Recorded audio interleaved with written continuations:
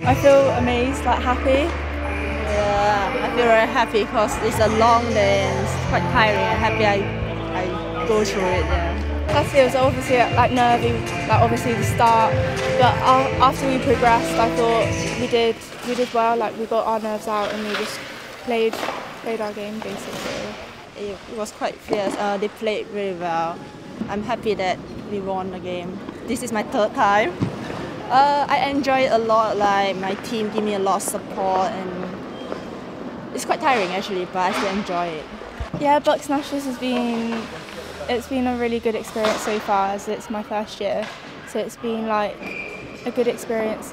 I think that like this was important for my like for me as like as a personal development thing. So it it is really important.